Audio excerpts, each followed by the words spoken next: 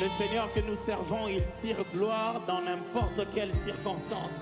Même les circonstances compliquées, il sait comment tirer sa gloire dans les circonstances les plus difficiles. Nous les Gaëls, nous aimons dire azwa kankembo lingi. Il peut s'organiser pour que même il peut s'organiser de sorte que même lorsque le fer est tombé dans l'eau, un incident des chantiers devient toute une histoire à raconter.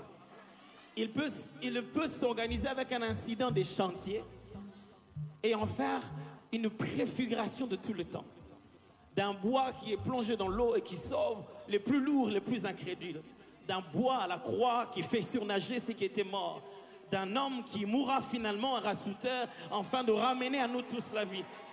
Il peut utiliser n'importe quoi pour avoir la gloire. On va danser ça.